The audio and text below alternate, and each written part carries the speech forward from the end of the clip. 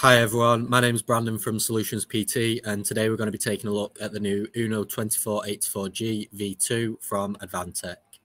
Okay, so firstly this device has an 11th gen Intel CPU that's available in three different options. Um, so the options are i3, i5 and i7.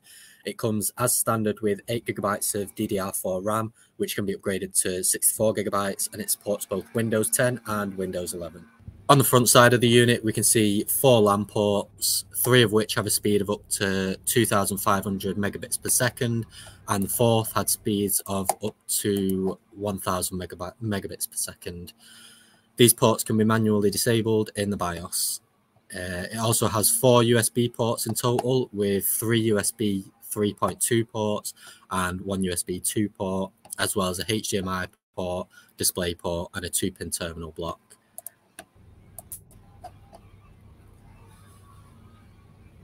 So as you can see on the other side, there are four serial ports with speeds up to 115 kilobits per second.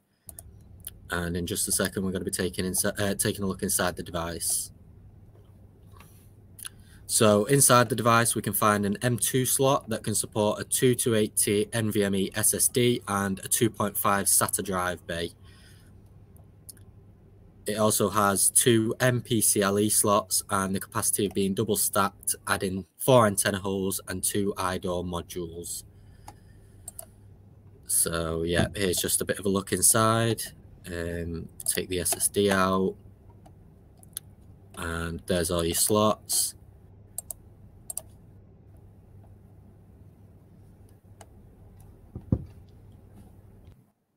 Okay, so there's the first look at the new Uno 2484G V2. Um, if you're interested in learning more about this device, please visit the link below. And I hope you found this video useful. Thanks for watching.